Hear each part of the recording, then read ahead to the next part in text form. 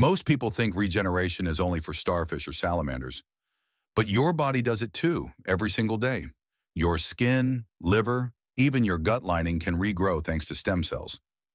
Now here's the surprising part. A clinical study found that people who drank dark hot chocolate twice a day, made from 73% cacao or higher, doubled their stem cell count in just one month. That's right, dark chocolate literally helps your body repair itself. Flavanols in real cacao boost blood flow, protect your brain, and activate your body's natural stem cell factory. Pair that with sleep and light exercise, and you supercharge regeneration. Add blueberries or green tea, both rich in polyphenols, and you multiply the effect. So next time you sip hot chocolate, remember, you're not just indulging, you're rebuilding.